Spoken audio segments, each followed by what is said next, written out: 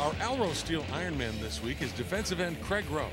His four tackles against Purdue and the forced fumble that led to Michigan's first defensive touchdown this season put him on the top of our list.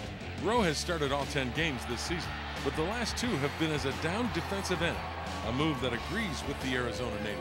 I'm definitely uh, more comfortable there uh, than I was at linebacker. At linebacker, I was just you know trying to learn uh, a lot of stuff that you know was really new to me, and um, know I tried my hardest, and you know for some reason or another it just didn't. I wasn't doing as well as I need to be for the team, and moving to D line, I, I've done that my whole life, so it's it's like it's very comfortable for me.